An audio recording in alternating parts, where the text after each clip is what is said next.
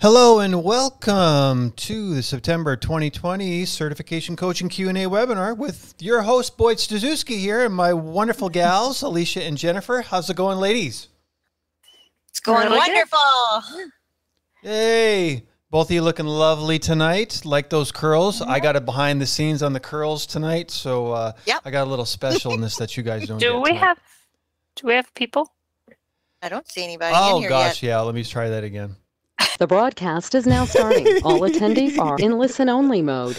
God, I thought it was so good too. Welcome to the Certification Coaching Q&A webinar for September 2020 with my hosts Alicia and Jennifer. Hi, ladies. Hi. Hello. Thank you for that. Boy, didn't hit the broadcast button. So uh, we're live with you here today. We are actually live. It's not a pre-recorded anything, right? Mm-mm. Um, we- Jennifer's in her new house, so you might see her background be different. Congratulations. Mhm. Thank you. You got any thank news you. that you want to share, Alicia, on that? I'm in I'm in Missouri, in my hometown. Yeah. Going back to Texas this weekend. Nice. And I'm in Flint, Michigan here in my studio. so, welcome. If this is your first time, we want to hear from you uh, in the chat. We're going to have a poll here in a couple of seconds. Um, you can go to the next slide, Alicia, when you're ready. Okay. And if this is your first time, know that you can ask a question anytime. But this is a webinar about all things medical business certification, medical coding, billing, and practice management related with my two experts. Alicia Scott, CPC, CPI, CP. No, I forgot the rest. Alphabet soup. I know.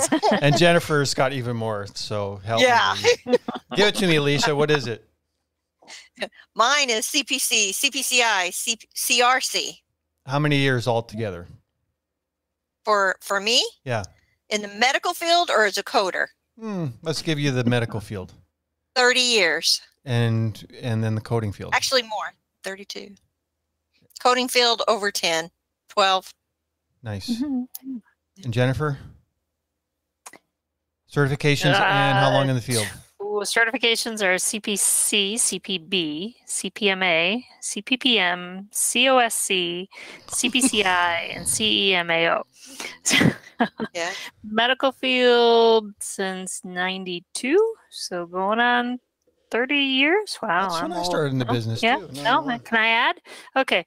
And well, I started to say I was in the medical field before I got married, and actually I've been married 33 years. So, but that's only because I started as an EMT at 18. Mhm. That's Yep. why most Well, people can't say that. So. We're glad that you're here, both of you, and thanks for putting Mm-hmm. that all that time in. Put it that way.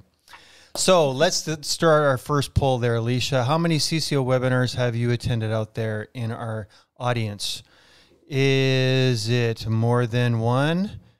Is Ooh. it a repeat offender? Is it liking it here at CCO, which is five to ten, or are you a CCO frequent flyer at ten plus? Wow. I'm watching it it build right now. I don't. Can you guys see that, or is it just me because I did the poll? just you. Yep. Probably you. Yeah. We're at 68 percent so far. Frequent flyers is winning. We Looking generally see s- how- close it at 70, so you got to hop on this thing if you oh, want to get Yeah, your that's right. We're at get your We're now in. at yeah, close and share. Let's see here. Read them off. We have 20% is first time. Woot woot. 11% uh one back for more. 2 to 5 is 29% repeat offender. You know, I could put my glasses on. I could see that better. And then 5%, 5 to 10 liking it here at CCO and 35% have come to 10 or more and they're the frequent Mhm. flyers. Nice. That's awesome, Nice. guys. So this is our lineup tonight, and actually Alicia's going to start us off after all this is done. I kind of switched things up this month. Usually we start with Mm, okay. with Jennifer. So, because she always likes to leave early. No, she doesn't. But anyway. sometimes. um, so, Jennifer, you're still first on the list, though. What are you covering tonight? Um, I'm going to do billing for home services, uh, prolonged service documentation, and the modifier EP. Mm. And Alicia. I am going to talk about coding procedures both with the CP, uh, the CPT and the PCS for congenital defects, interventional radiology coding, and the uh, cardiac devices. We're going to just explain the cardiac devices and who is the OIG and what do they do. And you might be surprised at what it is, actually, if you don't know. So this webinar is going to go about 60 minutes. We've prepared some questions already that our club members and also our uh, general audience has submitted to us at our site at cco.us. Um, and so those are six questions. Then we're going to have a drawing for a prize given out to one lucky winner here on the call tonight. And we're also going to take your questions from the chat and try not to ask like complicated questions in the chat so we can answer them at the end that don't take a, a manual or a big Google search or uh, opticode. What is it? Not opticode, code, code, opticode, not opticode. Find a code. Find, Find a a code. Find a code. Yes, thank you. like I should know by now. But again, you can ask a question anytime. And when the ladies aren't answering, we've also got the team in the back. I don't know who's in the background. I know we've got a team there. Uh, probably I Lori's saw in there. and- Sylvia, but I think Lori's there too. Okay, yeah, great, awesome. Yeah, Maybe Lori's probably there, over on yeah. Facebook too. So uh, again, yeah, and if you don't have a question answered tonight, you can always go to cco.us slash topic request and answer, ask it there. Mhm.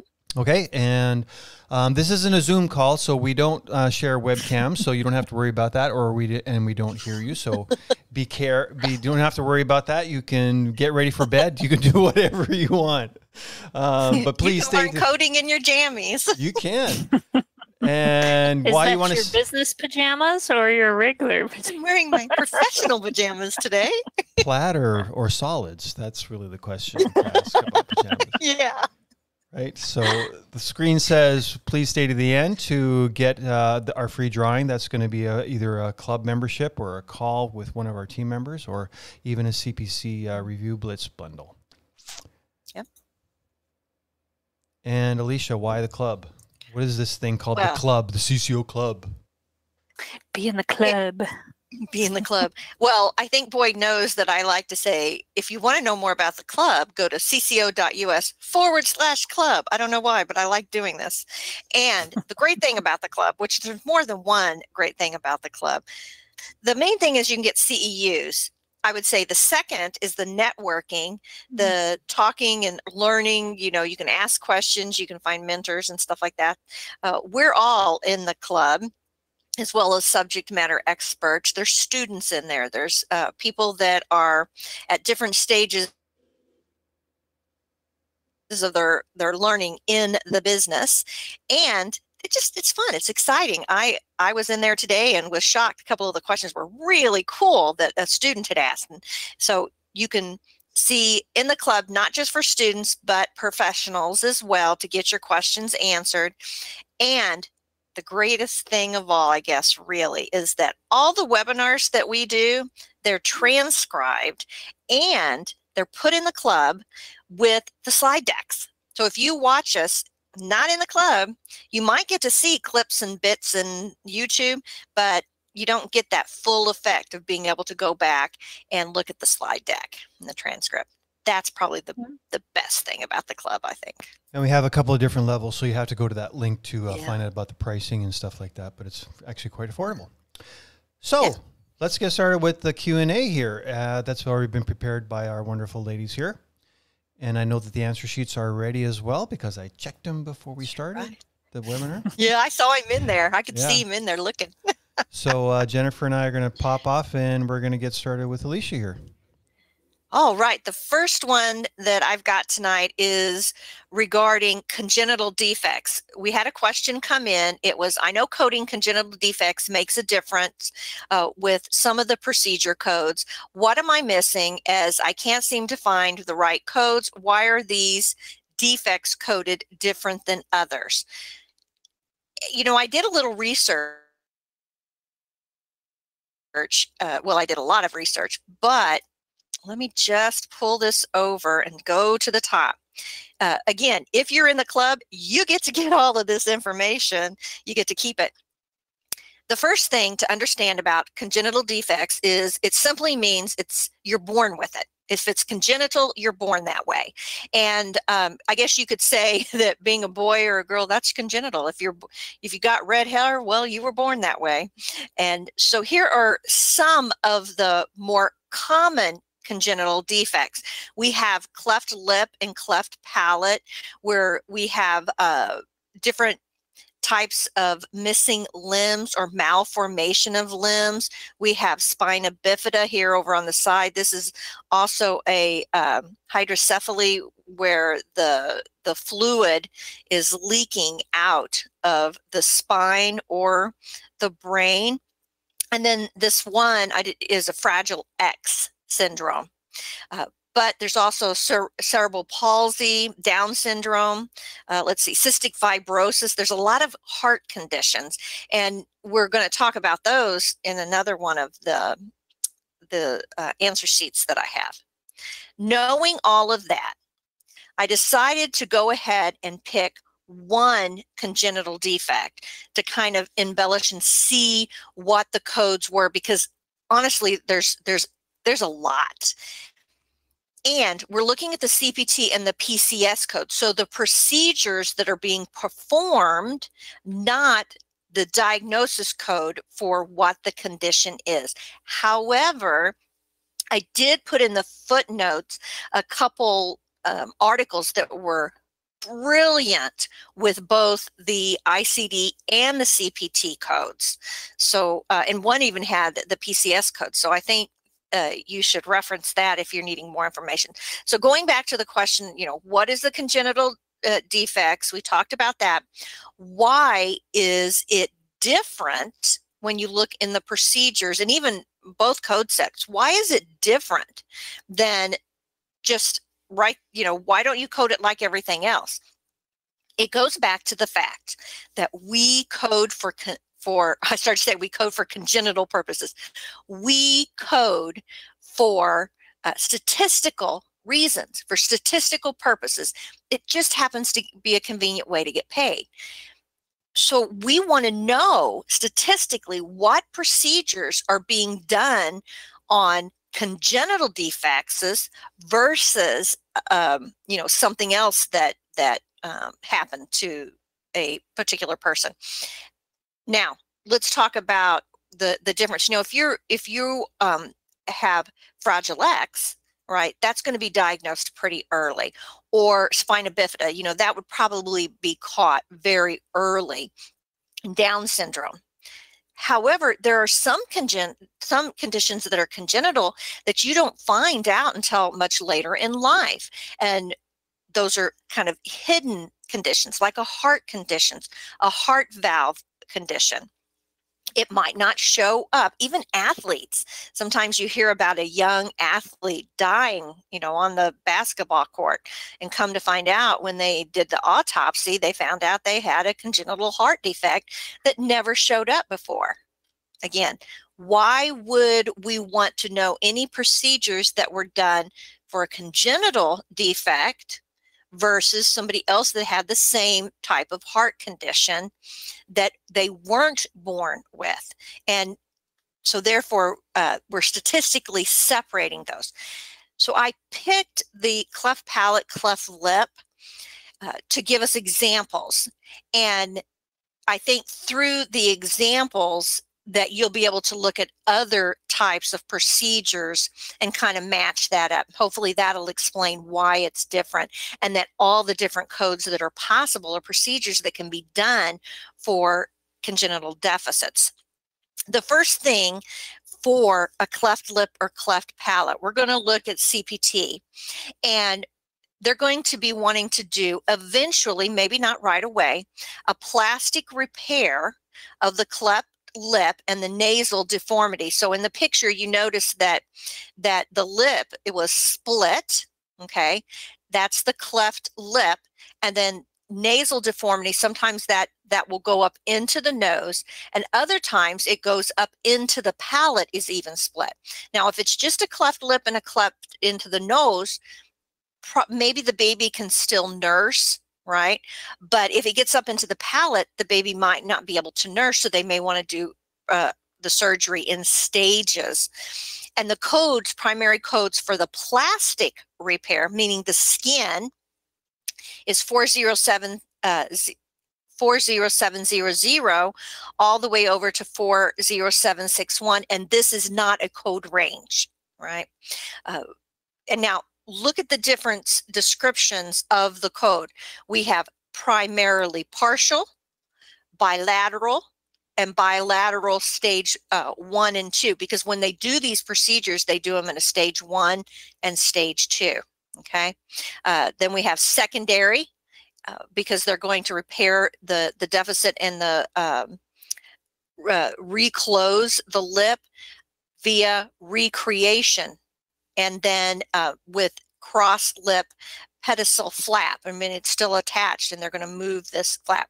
So those are the plastic repair, the skin itself, but much more that you have to do uh, often we need to do rhinoplasty. Now, we commonly think of rhinoplasty, someone who has a large nose and they want to uh, change the shape of the nose. Uh, and then there's other times where we have a problem inside the the nose where they're having difficulty breathing so they'll go in and they'll do rhinoplasty but notice 30460 is specifically to congenital cleft lip or palate, okay, and or palate, and just the tip of the nose. And then the next code, 30462, same thing, congenital, but it's going to be for the tip, the septum, and the osteotomies, uh, osteotomies, which is up, up right there in there in the nares going up in there. All right, so now we've talked about the outside. Now we've talked about the nose palatoplasty. The palatoplasty is the palate. So that's the roof of your mouth. And uh, these codes would be 42200, which have nothing to do with congenital. And then it go, well, except for the fact that people that have a cleft palate, that's congenital, right? But congenital is not in the code like it was for rhinoplasty. There is a lot of code for rhinoplasty, but those are specific for congenital. Uh, the palatoplasty is not listed as congenital, but if you have a cleft palate, you were born that way, right? So it's kind of built in. Then we have plastic repair, right? Just kind of going in and looking. It's it's uh, what I did was I made this big and then I kind of did it in a row. So let's come down here. Uh, so that's a repeat, really. Uh, now let's look at the PCS codes. Uh, ICD-10 PCS is for inpatient coding. That code set is not like CPT. It's drastically different. It's actually a much better code set. And with that code set, it's based on what uh, you intend to do to the patient. What's the outcome that you want for the patient versus what you're doing to the patient. And I went ahead and took repair of hard palate, open approach, and notice the first character is med surg. It's always an O. What body system are we working in? The mouth and throat. What are we doing? The third character is the defining character for PCS. And we're doing a repair, and that's going to be a Q. And what body body part? Hard palate. So these are our choices and our possibilities for an OCQ2, which means med-surg mouth and throat repair of hard palate. We can do an open approach, percutaneous approach, and external approach, which is the O3 or X. ZZ are just meaning not, they mean not applicable for those. So the main characters that you have to figure out here is the third and the fourth character. Everything else kind of builds, builds itself. We're going to be revisiting this repair of hard palate again, but I wanted to, you to see how it's broken up. The PCS code is broken up. So other procedure codes for PCS, if we need to fit for a prosthesis, say we're not going to do surgery on this newborn, but the baby can't nurse. So we're going to put in a prosthetic until the baby's until we're able to go in and do the procedure because the baby's growing so rapidly. Then we're going to be looking at a different first character because we're not going to be in med surg anymore. We're actually going to be fitting a device. And then the third character is going to ask what um, what body system, and in this one it happens to be an O. Then the third character is what are we doing? What's the outcome? We're going to fit a device. So that's a D. And then what are we fitting? A prosthetic device. Okay. And so FODZ8UZ is the code for that. And would you have even thought that that was a possibility? But that is is a code that you would need. And there's actually a CPT code uh, equivalent to that. Then let's look here at uh, another procedure to the lip and palate. These are repairs. That means the third character, notice that they're all a Q. So we have our OC, which tells us med surg, mouth and throat. What are we going to do? We're going to repair something. What are we going to repair? We've got the upper lip, and then how are we going to access it? We've got the hard palate and the soft palate, right? And then let's move down to replacement. If we're going to replace something, what?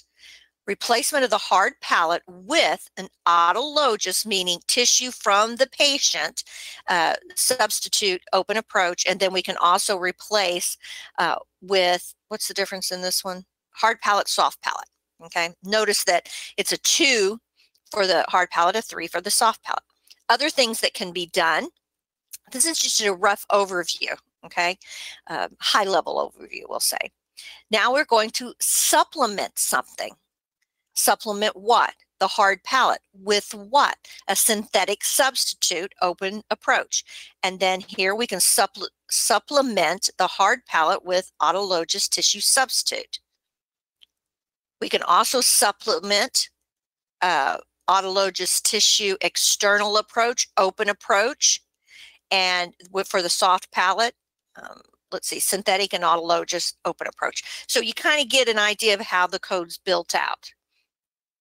Another thing that's often done for these type of procedures is transfer what? Soft tissue, a soft palate, excuse me, open approach. So we're transferring something.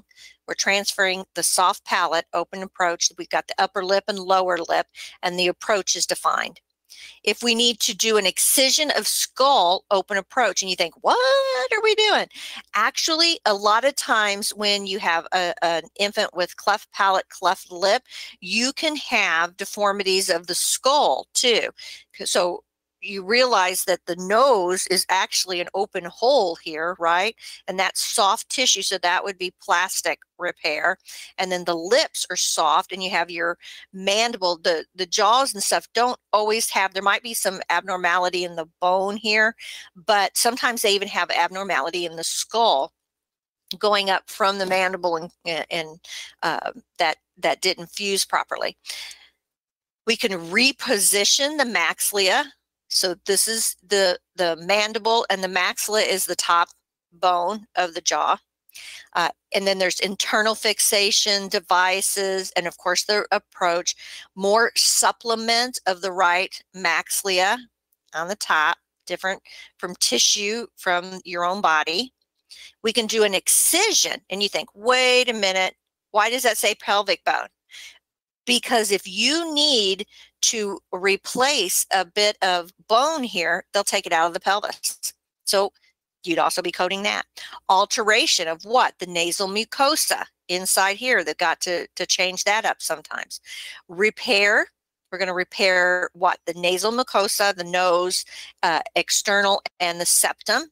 You can replace nasal mucosa. And I'm just going to briefly just kind of highlight these because we're almost to the end. I think that is the end. Supplement of the nose and uh, with autologous tissue and um, different approaches and repair nasal bone open approach.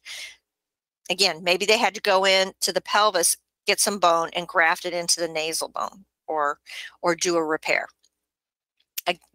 Now you see how these are not uh, codes that state they're specifically for congenital anomalies and deformities. However, where for what other reason would you be doing a transfer soft palate open approach right?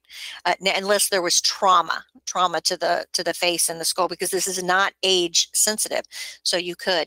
But we want to know how many of these codes are being used to fix one congenital defect a cleft lip versus a cleft lip cleft palate right cleft lip, upper lip, and lower lip. It's very intense. All right, that's it. Put this over here to the other end.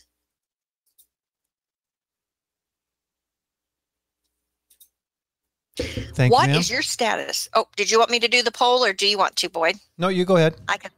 Okay, what is your status in medical coding, billing, or similar medical business related? Let me go over here and grab the poll.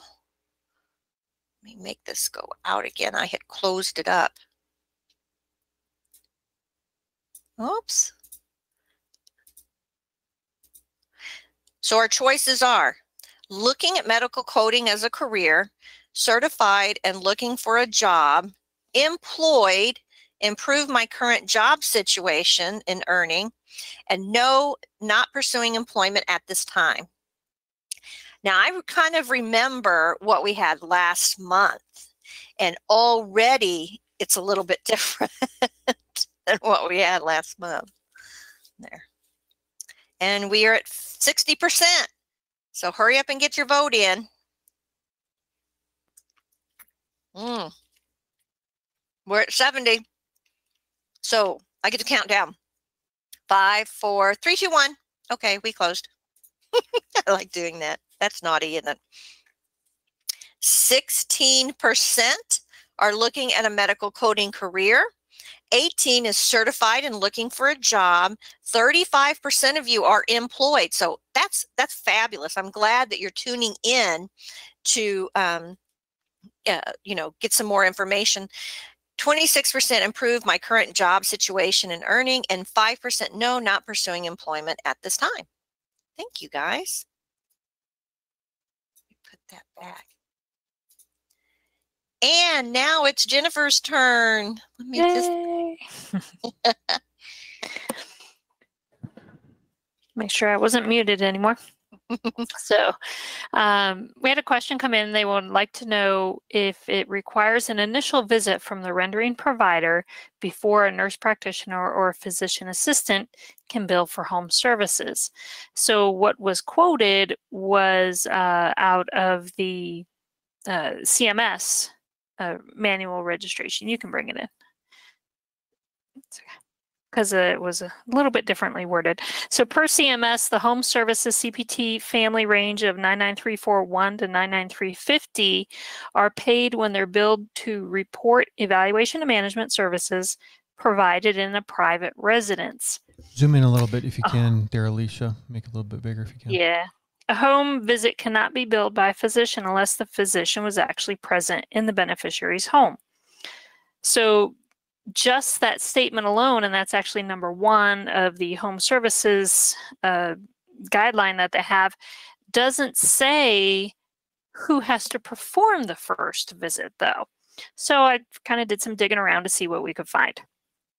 So services that are provided in a home, as with all other locations, are based, you know, anything you do is based upon our state requirements, of course. So uh, the provider is practicing within the scope of practice per those state laws. So is a RN able to do something in one state that a PA does in another state? You know, so everything that all these services that are billed and submitted are, of course, based upon our state laws, which vary per state.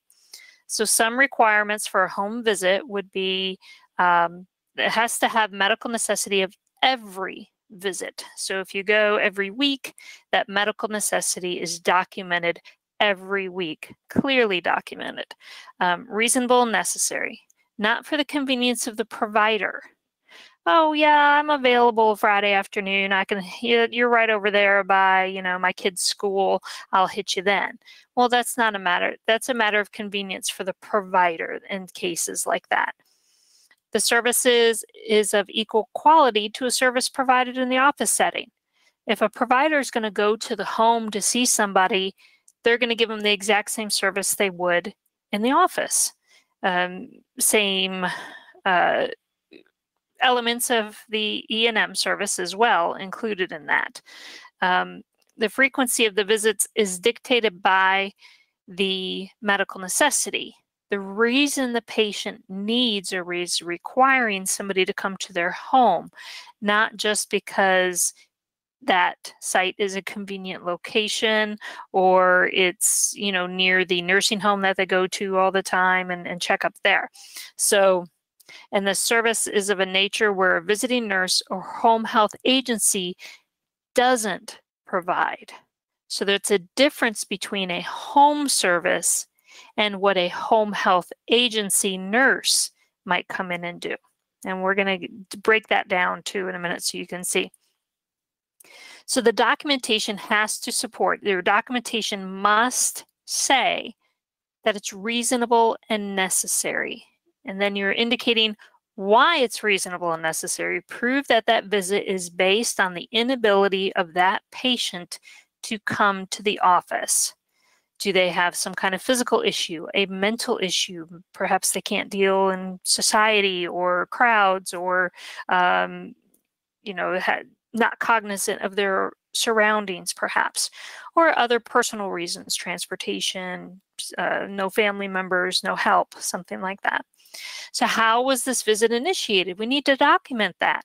It's initiated because the patient called, says that they were released from the hospital two weeks ago. They're still in a wheelchair and they don't have anybody who with a special equipment or a vehicle to transport them. Well, that's uh, they initiate it. We've stated the reason why, um, and then the conditions that prevent so they called us because this, so they needed a home visit. Of course, all the key E&M elements. Everything you're going to do in the office, you're doing at the home. You're doing the HPI, you're getting their history, you're reviewing their medications, you're doing an examination, some kind of medical decision-making process. That's where it's different than a home health nurse who comes in is under orders of the doctor to change that bandage every two days or to perform physical therapy three times a week. Those home health agencies are under the direction of a provider. They're not hitting those key elements that are required for our E&M codes. So home services are like our office services and billable by a credentialed and eligible provider. Doesn't matter who that is. It could be the PA. It could be an MD. If that PA or that nurse practitioner is registered with that insurance company as a eligible provider to perform services, maybe they're eligible with TRICARE, but they're not going to get paid at 100%, but they're eligible to bill for their services. So they can perform a home service as well. It doesn't matter who it is, they would be submitting their claim with their information and receiving their rate of reimbursement. So if the insurances want to be, if the services offices wanting them to be billed as incident 2 to Medicare, Medicare is the only provider that accepts incident to. Other carriers may in certain regions. I've seen, you know, possibly Aetna in a small region or something like that might accept uh, incident to. Incident to means that a medical provider, an MD or a DO, has gone out and evaluated a patient and established a plan of care. They've done the HPI, they've done the examination, they've done the medical decision making. They said, okay, we need to follow up with you after this severe fracture you had. You're unable to walk right now. We're going to follow up with you every week to make sure you're okay. We're not coming in to do the wound dressing. That's your home health nurse. We're coming in to make sure your medications are okay or, you know, everything that they're going to do at a normal office visit, they're doing in their home. So, but a PA can do that.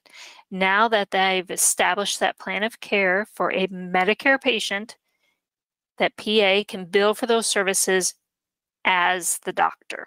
So incident to is a little bit tricky. We have videos out there about incident to if you're concerned about that, but remember it only affects Medicare. Um, so home health services, on the other hand, you know, they sometimes are confused. Home services and home health. Well, what's the difference?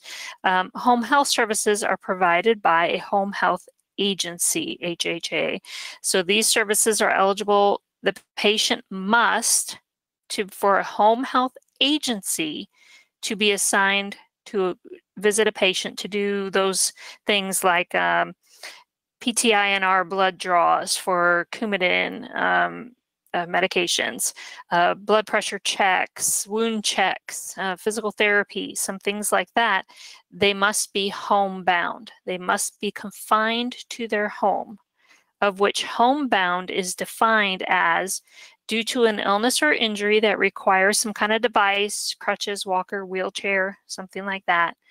Uh, something they require special transportation or assistance of another person in order to even leave their house. If they don't have anybody else there with them, then they're homebound. Or a condition that leaving the house is contraindicated. Okay, we have one of those conditions right now, COVID. They can't leave their house. Um, or, you know, some other uh, medical ailment that allows them to not get near germs or, you know, out be in the public. And an inability to leave the home exists. They can't leave their home for some reason. And leaving home requires considerable and taxable effort. I know we all think, I don't want to leave my house. I don't want to get dressed today. I don't want to go to the grocery store. But that's not the case. This is the, it, it's a considerable effort for these people to get ready to leave their house, um, especially somebody who can barely walk. They got to now get down their stairs and get to a car and get situated, and it's very taxing on them. They require skilled services from a home health agency, so they have specific physical therapists or nurses who are available to do these skilled services. And you are under the care of a physician. So your physician is the one assigning a home health agency. Um, they need a plan of care established and reviewed periodically by this physician. So um, every 30, 60, 90 days. It could be a state requirement. It could be an insurance company requirement. Um, I believe right now they changed it in 2020 that home health agencies report every 30 days. So those physicians need to get those plan of cares signed off on uh, more ex expeditiously.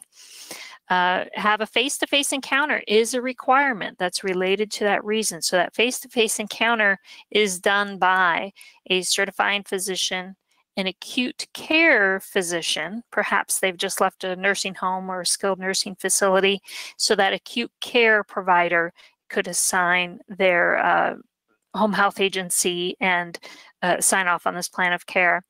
A nurse practitioner, a clinical nurse specialist who's working with that physician or that acute care physician, a certified nurse, midwife, or physician assistant who's under the supervision. Those people can go out for that first visit and assess that and come up with that plan of care. But it's not a physician or a non physician uh, provider who has a financial relationship with that HHA. They can't own it, they can't have investments in it or anything like that. Of course, now we're getting into our Stark laws and, and other uh, laws that we have out there in, in the medical field.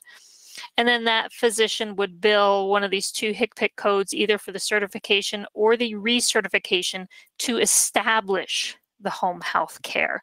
Um, they use a G HCPCS code. And this all came from Medicare. For if you're doing home health services, there is a brochure available on the CMS website about home health.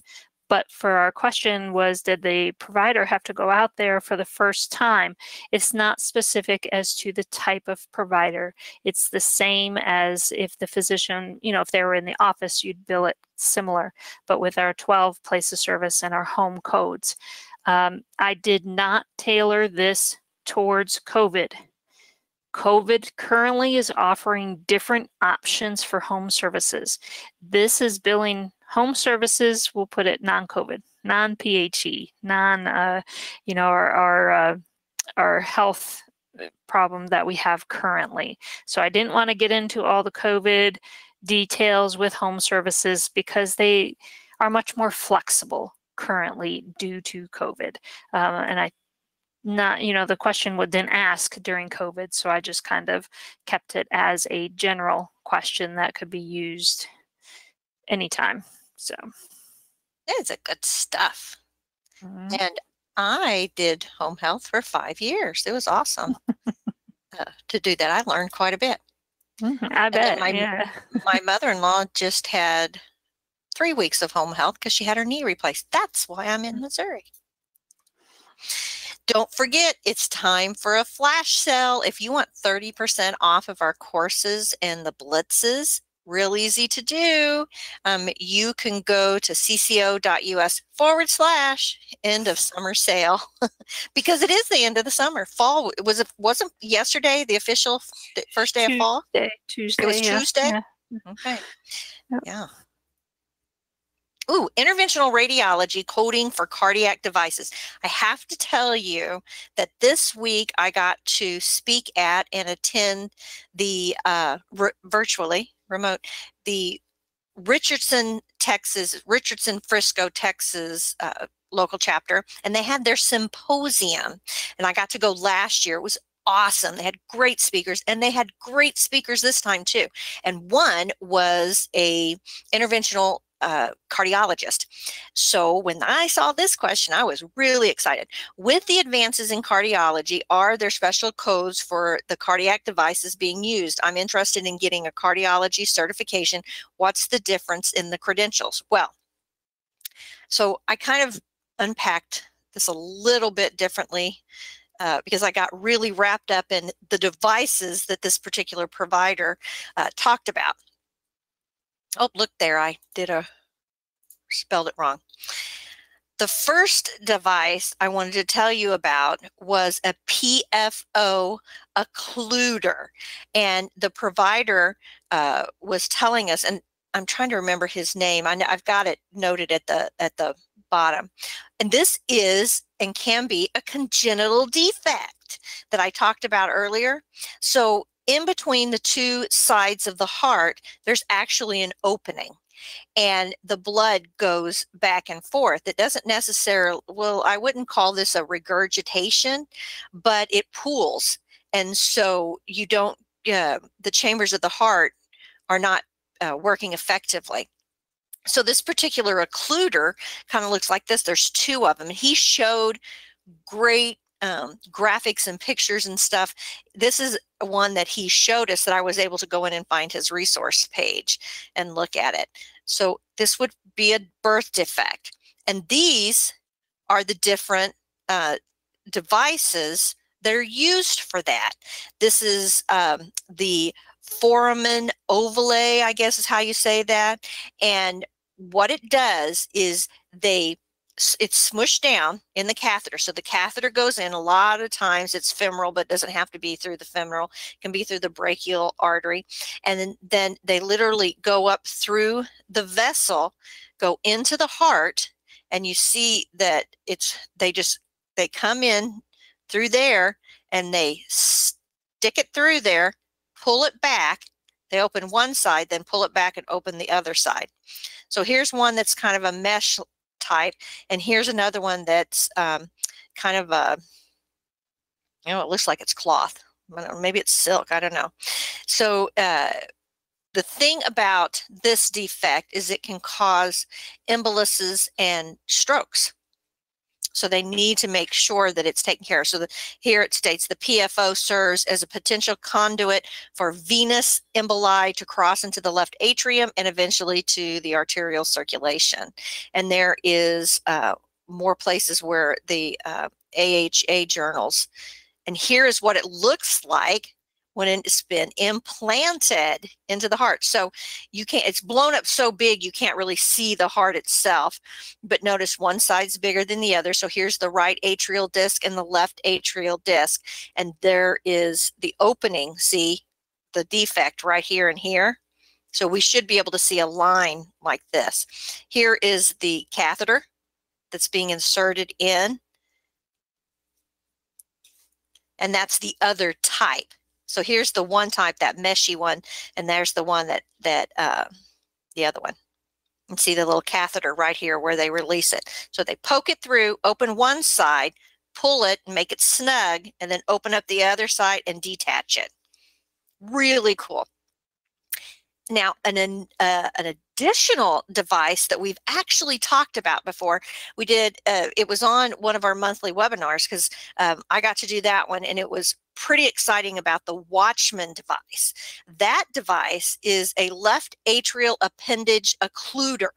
And when people have AFib, um, that is probably the not the number one, but it's it, it's most common cause of stroke. So what they do is they put people on anticoagulants. But there's reasons that some people can't be put on an anticoagulant. So what they do is um, they find out if it is a situation where they've got this appendage on the heart, then they can take this Watchman device. And again, it's it's all enclosed. It's not any bigger than the catheter that's going in all right and then what they do is they they go in they make sure it's nice and secure right?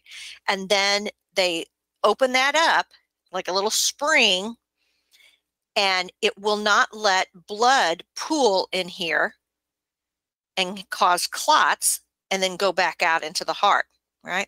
So this is what it looks like and this is actually a picture of one um, on a scan. And you can see that little circle right there. It's pretty cool. So I encourage you, especially if you're in the club, you can go in and just type in Watchman and you'll be able to find that that particular uh, section. Now, TAVRs and TMVRs. So that's transcatheter aortic valve replacement or mitral valve replacement. This is huge right now. They do so many of them. Um, in fact, uh, the doctor that had given this lecture was from Texas Health Presbyterian Hospital there in Dallas. And he said in 2014, they did seven. That was when they started the program, the, that um, they had a group of doctors together. They did seven. And then you notice here every year how many more they did of these procedures. So uh, if you think about that, these these are procedures that are life changing. Well, all of these are, but this one has really taken off, and um, uh, no no side effects really for the most part. So uh, if you're looking up one of these procedures to code it. It's an implantation. Uh, so, what are you implanting into the body? It is a valve. What valve? Well, it's either the aortic valve or the mitral valve. So, it's then transcatheter. That's what that stands for. And this is what they look like. They put a balloon he had really good pictures a couple of these are pictures that he had but his he actually had showing you the procedure is awesome. Um, that's another reason to go to some of these symposiums and may manias and things.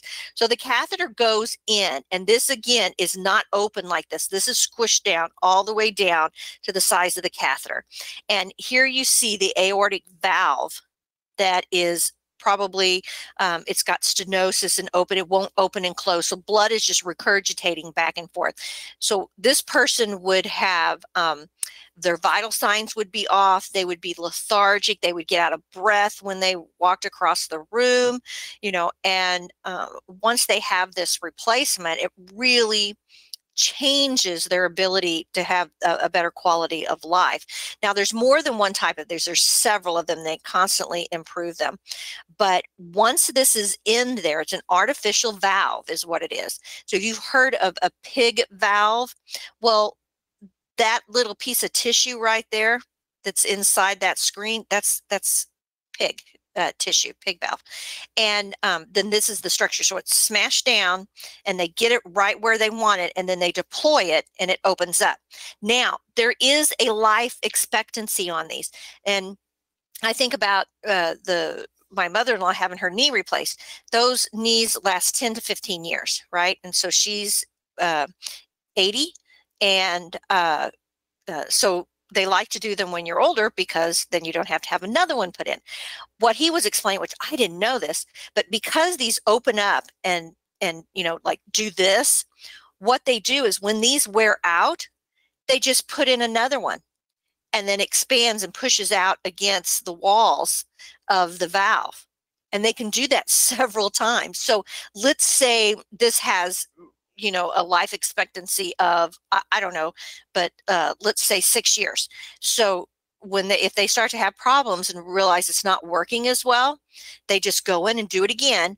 They they don't take the valve out because actually the body kind of adheres to this, makes scar tissue, and so they just put another one in its place, open it up, and it pushes this out the it expands out but it still has plenty of room and these come in different sizes so they have to have a lot of prep work done before to and they just keep using a smaller one because you're inside the existing one. I thought that was amazing um, another procedure that he talked about was the TMVR, which is the transcatheter mitral valve repair. Now, this is a little different. When the mitral valve, sometimes it um, has this regurgitation.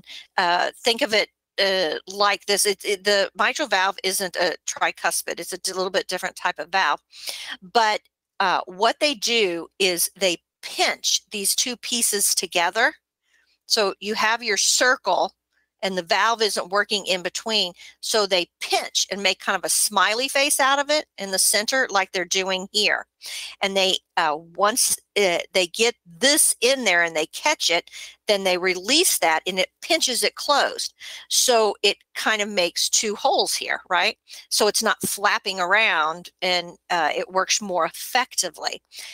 But he said this is a procedure that takes a lot of time and precision. So ultimately, what they do is they have to do a lot of measuring and everything like the other valve, but they get the catheter in there and they've got the device and they're they speed the heart up chemically so they give you drugs and they raise and he sh- he showed this in the telemetry and everything they raise the heart so if you have a heart rate of, let's say, just 70, okay, eh, they raise it up to like 120. So that valve is going so fast, it's not even closing. It's just, you know, instead of doing this, uh, or, you know, uh, it's it's going like this. It's just quivering. It's going so fast. And then what they do is they put that device in there and then they have to like catch it right? It's like trying to do a um, whip stitch on uh, on something that's moving around. If you're a sewer, you know. Uh, so uh, and then when they finally catch it, right? Then they have to grab it, you know, and hold it and make sure it pulls. And you can see how this, if you had this bigger, you see this has a little teeth on it and everything. And then it just literally sews that, and then that thing pulls out this clip like this holds that together. That was just so cool. Oh, it was Dr. James Part. He presented at the Richardson, Texas Symposium on the 18th, and he is with the Texas. Let me go back up here and look again because that was the percentage he said. I want to make sure he gets attribution. The Texas Health Presbyterian Hospital of Dallas, and I think he said that they uh, intended, they expected to do like 250 of these procedures every year, and now, and they're doing 450 now. So, uh, and they have nine uh, nine clinics slash facilities that do this interventional radiology. So if you are interested in interventional radiology, these are the devices that you'll be coding for. Now, we have actually done other videos with the codes associated to each of these. And um, so this time I didn't put the, the codes that, you know, specifically. Now the difference in the two cardiology codes, one cardiology code is for cardiology in general, and the one for interventional radiology is called the CIRC. It's the CIRRC coding uh, interventional radiology, IR. CIRCC. CR, I knew there was two letters, C-I-R-C-C.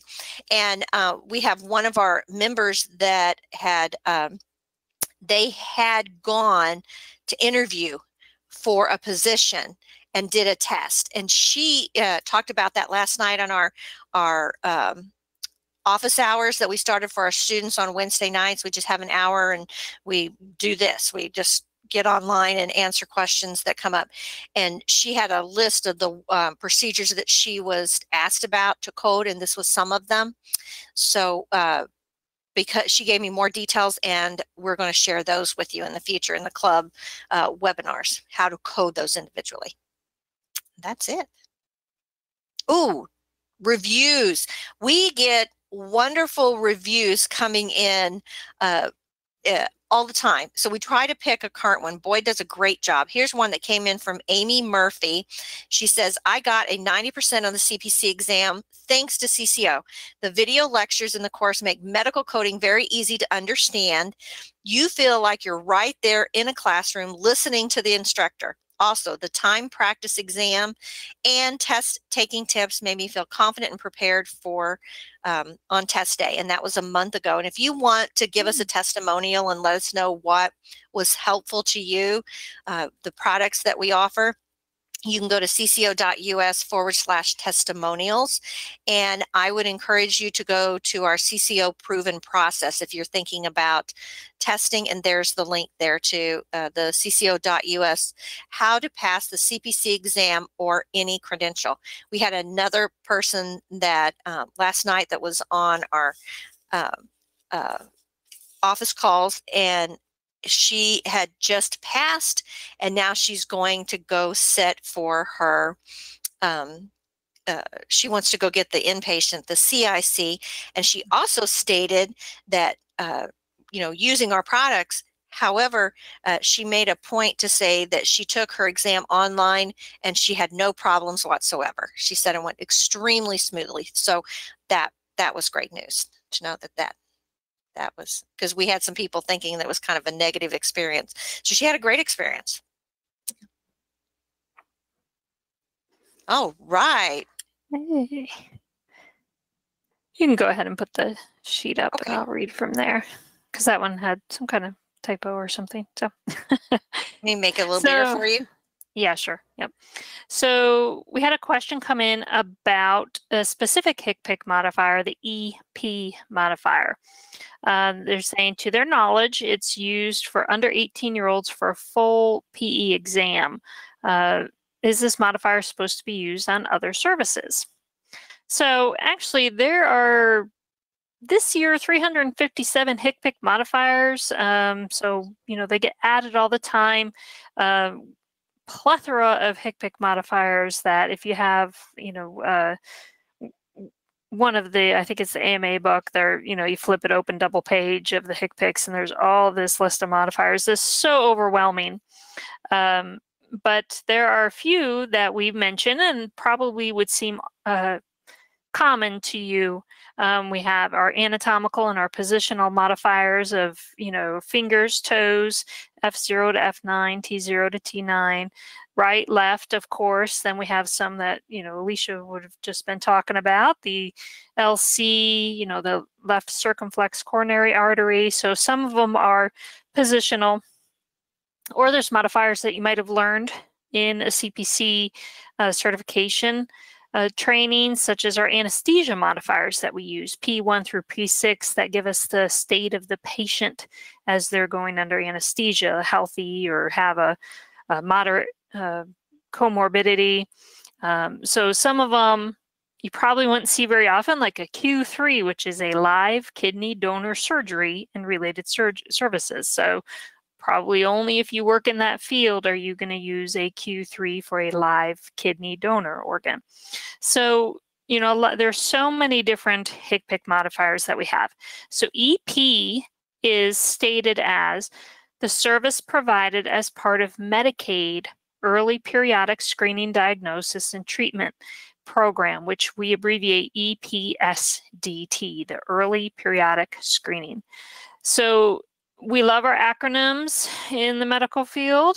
Um, so EPSDT um, is a Medicaid program, and they're what they're looking for. The E, the early, they're assessing and identifying problems early that could take place in individuals on medical assistance programs. We want to make sure that they remain healthy either through nutritional services or other medical services that may be, you know, some kind of environmental environmental factors or something else that could be affecting their care, perhaps. The P uh, is the periodic. So looking at those age appropriate intervals, you know, when you take your child for their two year old checkup, their five year old checkup, certain things that they're looking for them to be able to do at that point in time and their milestones.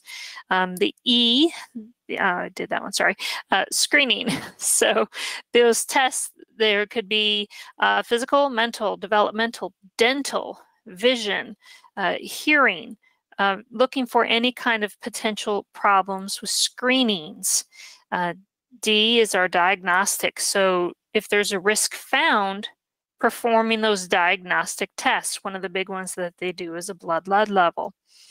And then T, treatment. So to control, correct, or reduce any health problems. So this is a program established by the federal government that uh, through the Centers for Medicare and Medicaid Services that all children under 21 so up to the age of 21. So these benefits are allowed if they're on the medical assistance program. So our state Medicaid agencies, they're required to report these. Here we are again mentioning why we use these codes for statistical purposes. All of the state Medicaid agencies report these to the federal government annually as to there's a whole spreadsheet of things that have to be filled out how many there were how what the ages were you know all this different kind of treatment uh, that came from these screenings. So there's a lot of information that has to be reported. How do they know that was done? Through the use of this modifier. So the one thing we take away from this is this is for medicaid patients this EP modifier we're using to report for medical assistance carriers. So it's not used in every situation in either a family practice or um, you know primary care provider's office. So some programs require that modifier to be used while some don't. So I looked up some examples. Every state is different. Every state requires something different. For what I found, Nevada wants you to use the 25 and the EP modifier on your preventive medicine codes. You got to come back down a little bit, Alicia. Thank you. Uh, in conjunction with those immunization codes. So they're going to give them an immunization at that time, uh, perhaps their Tdap, they're due for it or whatever, and their administration codes that they're using, as well as the preventive medicine codes that we use. Now, 99385, you know, is for ages 18 to 39. Well, medical assistance, you know, we're only going up through the age of 20 because that's for under 21, so through the age of 20. So we can still use that 18 to 39 code, but it's not for everybody, it's only through that age. Um, their website, the Nevada website, indicates that the EP will indicate a routine healthy kid screening that they've done, where other states have different requirements. Mine, for example, does not like modifiers, rarely used at all. There might be a dozen modifiers that are allowed on all claims that go into them. So they will allow 25, and then they allow the SE modifier um, for those similar circumstances for those immunizations. So every state's different. So if you do work in that field and you do see medical assistance patients coming in for their preventive medicines, we need to make sure what modifier your state is wanting. So states may also require certain services to be rendered when using that modifier EP. So what does that mean? So Missouri lists um, 10 components that are going to be performed for the um, early screening um, test that's being done, which can be broken down into a partial screening if only the first five components are given. Those first five components are the federal requirements. The other five that Missouri offers don't have to be done, but you have to do these five to meet your federal guidelines. So they would suggest using the EP and a 52 reduced services modifier to indicate that you didn't do all 10, you only did uh, the main five. So these five requirements are in also the CMS Medicaid manual that indicate there must be a comprehensive history and, uh, health and developmental history done. We must have a comprehensive unclothed physical exam. The appropriate immunizations, laboratory tests to include those blood lead levels, and health education. Those five must be performed uh, for the EPSDT exams. Now, with federal medical assistance programs, the federal government establishes those services to be provided meeting the terms of a, a, patient's application. So it could be low income, it could be some other kind of medical issues that warrant a patient to have medical assistance. So states do have flexibility that's allowed to them to offer more services should their funds warrant, or perhaps based on their population, they see a lot of certain issues with certain populations. Perhaps maybe, you know, New York City, you know, maybe in New York, you might see more instances of uh, fluoride problems. Maybe there's not enough fluoride in the water or something like that. Um, so they might offer more dental services perhaps to their medical assistance patients or if they don't have it in their budget, you know, something that they have to offer the minimum. And the minimum is those EPSDT services that must be offered to all patients under 21 under a medical assistance program. So they have certain ways of reaching out to those patients and letting them know they that they can go in and have these services.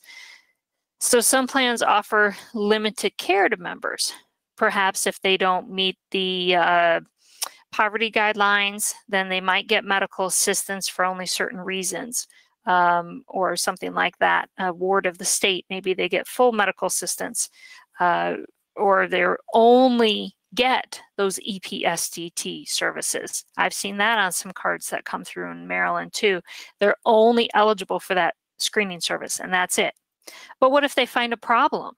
During one of those services that they're screening maybe there is some kind of uh, anomaly that they found or a high risk factor. So if that's the case then the federal government and the states warrant additional services for that medical issue. Doesn't matter the level that that patient has of say they only had that coverage of with only you only get these benefits yearly uh, with your physical exam. Well, if they have a medical issue that they found from that, they have to now it's medically necessary that that medical assistance plan has to cover that as well. So if they find some kind of a heart anomaly and it's going to require surgery or therapy of some kind, or maybe just an extra MRI or something, that is part of what they have to cover. So they could have what they call soft limits and hard limits. Um, they're they're not allowed to have the hard limits. They're not allowed to say, "Oh, you only get $500 worth of care for that problem, and that's it." Now they might say, you know, their physical therapy might be limited, but they would take it as a soft limit. It's on a case by case basis. So if they found some problem and that's going to require additional uh, visits for a patient, then that's something that could be given to them or it could require an authorization as well to extend those services. Then they're reviewing that, they'll do a utilization review, look at the medical records and see what's warranted to treat that patient because they're under the medical assistance program through the federal government. They're allowed to have this care. And um, so they need to you know make changes possibly on a case by case basis there was some uh, website information i found either through um, medicaid.gov or the cms website so this is specifically for the entire blanket of medical assistance programs but then each state might offer something different as well. So with a EP modifier, it is only used only with medical assistance programs for those visits that meet that uh, screening criteria of those preventive medicine codes. So it's not something you're going to see very often. Sharon asked a question that you can probably give more detail on. Um, she wanted to know if uh, you're going to be tested on needing to know the state by state uh, codes. I told her that the federal ones, yes, but if if they ask you about something specific, they're going to give you that information in the test booklet, and then you have to know how to read it Mm-hmm. and understand it. Is that correct, or can Yeah, you even shed on some the- light on that? even on the CPB exam, um, you know, which is mainly dealing with billing, which is a lot more of the uh, things that we go over, uh, you still need to know all those federal um, healthcare laws is more important. Knowing the Stark laws, the you know business. Um, not coming to me at the moment. Um, some of the business laws that deal with HIPAA, you know, the security laws, things like that. When it comes to this type of program, they might test on, you know, I've only taken the test one time. I don't know how many quizzes are out there, and how many different kinds of questions they have, but it's gonna, um, you uh, you'll have approximately 10 questions dealing with, you know, insurances like that. But I think, and I took it a couple years ago, so I'm trying to remember.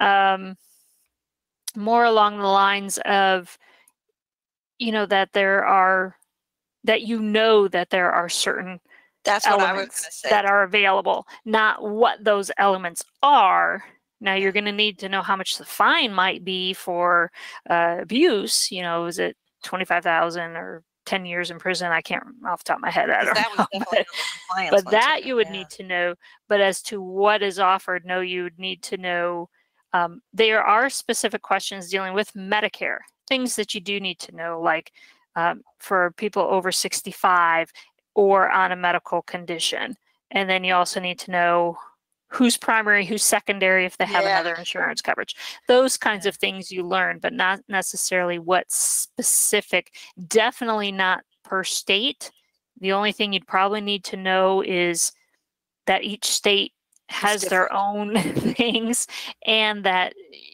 you can only do what the scope of their license says they can do in that state. That's probably the most you would be asked about a specific state requirement. But yeah, most of it is a generality of a medical assistance program that it's for low income or that you have a Medicare, Medicaid, or Medi-Medi, or everybody calls it something totally different. Um, you know, out there for the options of our low income or our elderly or medical disability patients. So. Perfect. That's that's good. That's good. Oh, right. We have one more poll. It says, "What is your medical background?" Your choices are clinician, provider, coder, other. Right in the uh, chat box, or none. Sharon said, "Thanks." By the way. Well, uh, I guess you can see that now. So don't go to sleep, you guys. We're almost done. We want to stay to the end to see who our winner is. Ooh, wow. Okay, we're at 60%. I'm going to count us down. Five, four, three, two, one. Bam. And we have two clinician, no providers tonight. Sometimes we usually have at least one provider. Um, 66% of you are coders, 19% is other, 17% none. Oh, I didn't share it. I am so sorry. Well, we do have a nurse and a foreign medical clinic- graduate. So that's close to a provider, right? Yeah, yeah, I think Yeah. so. Yeah, I like the medical software one. I I think that's an Oh. interesting field because you can take all this knowledge and dabble with your computer and you know if you're tech savvy or something as well. Mhm. So yeah. That's right. Oh, right, guys. So the OIG, who are they and what did they do?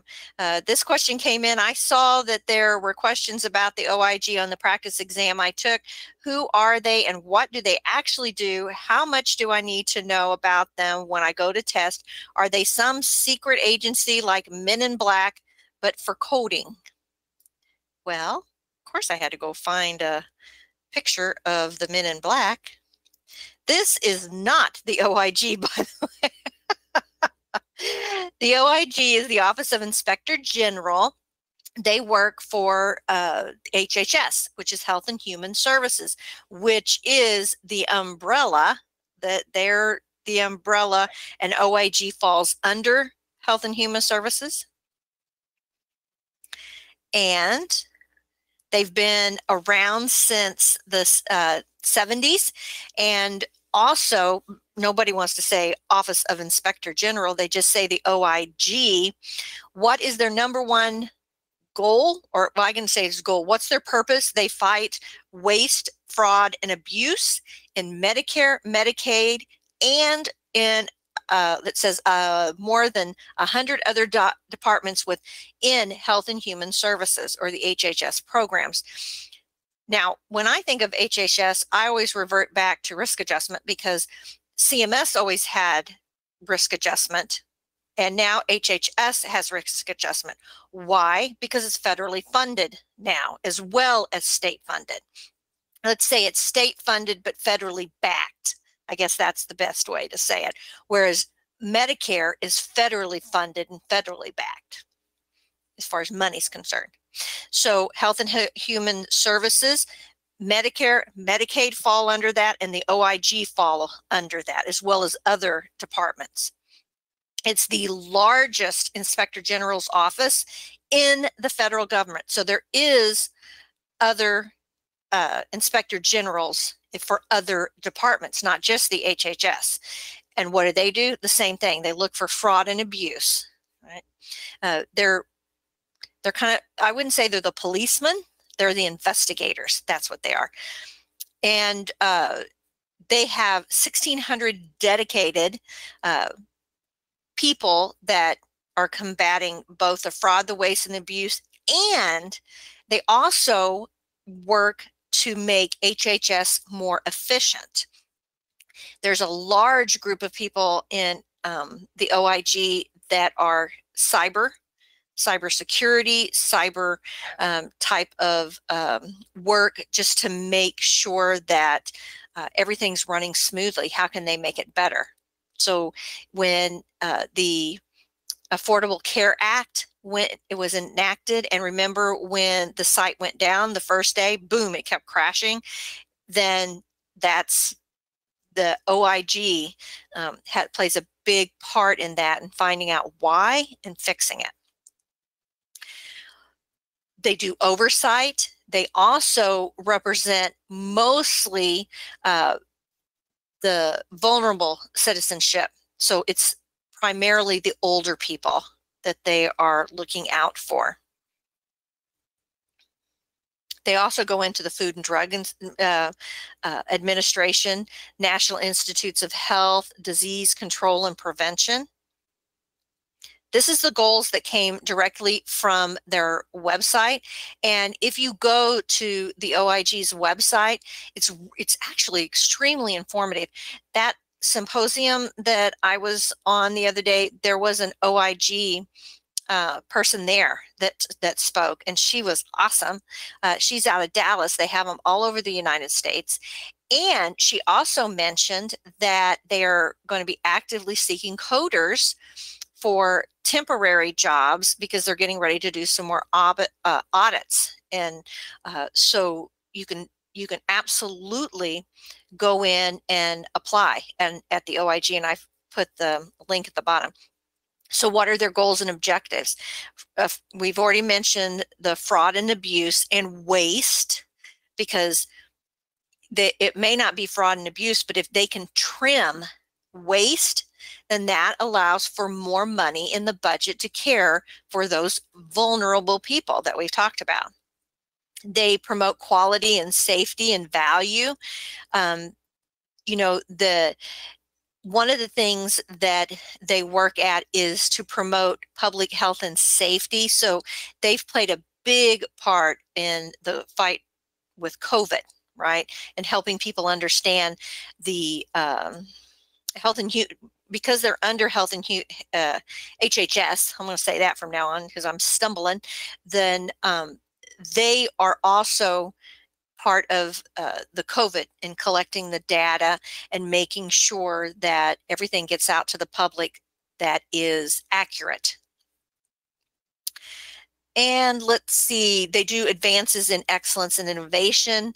Uh, if you go to the usajobs.gov and you look at the OIG, uh, you'll see that right now they have a, they're doing a big hiring uh, spree for IT people and uh, thought that was very interesting. But she did state that that um, that was this week that they are looking for coders and um, you need to be certified, but they didn't she didn't specify what credentials. So um, I think across the board, I'm, I'm, sure they'd give you a test. If you can pass it, they'll put you to work. Yeah. As far and it's a temp thing, you're contracted, I assume, uh, because she said it wouldn't be full time. But hey, wouldn't that be great to put on your resume, right? And that website again is usajobs.gov. What you're going to expect on the exams is this information right here. Right here. Fights fraud, waste, and abuse. And they will say, they will like give you a question about a scenario and they will say, who would would handle this? Who would come in and investigate? If they say investigate, it's probably the OIG. They're investigators. But if it has anything to do with fraud, waste, and abuse, it'll be the OIG in charge of it. And there you go. Well, it's an interesting tidbit that, you know, they fight the fraud, waste, and abuse, but the federal government has been looking into fraud, waste, and abuse since the Civil War, since Abraham Lincoln. So they have been doing that so for hundreds of years now because even back then, you know, people are charging more than they should for, and it's federal funded. So, you yeah. know, that's federal dollars hard at work. So they've been actually around since the Civil War. So I didn't know that, but to, that's fascinating. Yeah, yep, fraud, waste, so and abuse. Yep. They they may have had different names, right? Um, in the government they weren't maybe called the OIG per per se. I can't yeah, I can't remember they, what they were, but yeah, they've been around for fraud, waste yeah. and abuse in the go- of government of federal funds. There's been an agency that's been dealing with that. Yeah. And they yep. did say the OIG is part of more than just the HHS. Every mm-hmm. single one, like the agriculture, whatever, they have a you know they have an OIG, and these guys have an OIG, and so it's kind of kind of cool. Mm-hmm. All right, I'll move my move my face here. So our last question, I usually don't get to do the last question. So what kind of wording would be on a hospitalist note to bill a prolonged service code in addition to a regular E&M. So there was a discharge summary that there was an hour and a half documented as spending with the family, the patient, answering all their questions before they're discharged. Um, so is it appropriate to bill a discharge code and a prolonged service code? So in, I'm going to, again, I'm going to stick with 2020 current CPT because we all know E&M codes are changing in 2021. Um, there is still information coming out about some of these codes that are changing. Um, and most of those changes, however, are office environments. So this is dealing with inpatient, but yet prolonged can also be used in office environments. So I'm going to touch a little bit on both, um, but I'm dealing strictly in 2020. So you're going to see where some things are mentioned that you're going to go, wait a minute, that's changing in 2021, and I know it is, but I'm going to stick right now with with our, what we're currently using for at least the next couple months. So typically your prolonged service code, there's a family range from 99354 to 99359. That is both for uh, outpatient and inpatient prolonged services code. It is confusing because doctors, you know, all the time they're I spend a lot of time with them. Why aren't I getting paid? Well, your normal E&M visit, you get paid for spending that amount of time with them. So I, I used to hear it all the time that, well, I talked to him about this. Well, isn't that part of your medical decision making or your plan of care or things that you would have normally done anyway? So, um, spending time with the patient depends on what that time was spent doing. Uh, so, the E&M codes are currently currently based upon your history exam and medical decision making process uh, where that medical decision making process could incorporate spending time talking to the patient. You're either going to talk about here's your options. You could do surgery, you could do, you know, conservative treatments, or, or I'm going to send you for an MRI and this is why. And then if that comes back this way, we're going to do this, or you're going to have a biopsy. You know, they can go over all these things with you. That's part of that medical decision making process that they're spending with you. So it doesn't mean always mean that it's prolonged time. So prolonged E&Ms 99354 is a pro beyond the typical service time of that primary procedure. These are add-on codes. We don't bill prolonged services without a main code. They have the little plus next to them. In the office or an outpatient setting is 354 and 355 that require direct patient contact beyond the usual service. That's one of the main terms we're looking for, and we'll elaborate on that a little bit. So then you can do each additional 30 minutes as another additional add-on code with 99355 with an office setting. Uh, 356 and 357 is your inpatient requiring uh, the floor time beyond that usual service. So looking at uh, 358 and 359 are codes that are without or direct patient contact. I'm not going to talk about those. 415 and 416 is prolonged clinical staff time uh, beyond that normal uh, physician time. So I'm not going to talk about either of those, but there are other prolonged services codes out there. So we said beyond the usual service. Well, I go to CMS for a lot of my information.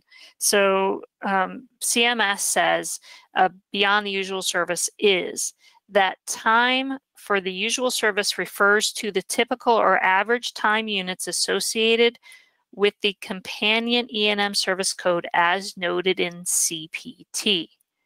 So we have our you know, establish our eh, problem focused and are comprehensive. And then it tells us as we're choosing the code, approximately 25 minutes are spent face to face with the patient. That's the time that we're looking at, that what they note in CPT, which again, next year changes, okay? The companion E&M service. So per CMS, they defined what is a companion E&M service. Well, for the outpatient 99354, it's a family of codes. And for the inpatient 99356, there's another family range of codes. You can bill these with any one of those family ranges. Face to face physician presence.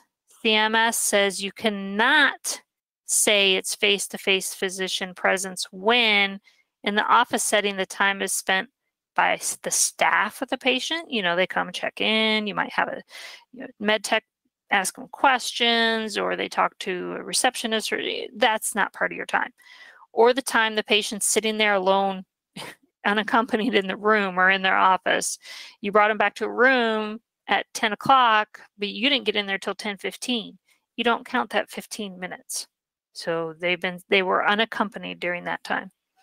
In a hospital setting, it's a little bit different, but time spent reviewing the charts or discussing with another staff member in the hospital um, and not your direct face to face contact with a patient or waiting for test results, changes in their condition, you're hanging out waiting for that, the end of therapy, or use of the facilities in a hospital setting is not time documented is not your face to face time with the patient for prolonged services.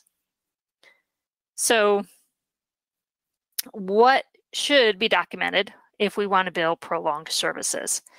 These medical records are not submitted with the claims, so we don't have to make them look pretty and bundle it all up and send it out with a claim to make sure that that claim is supported.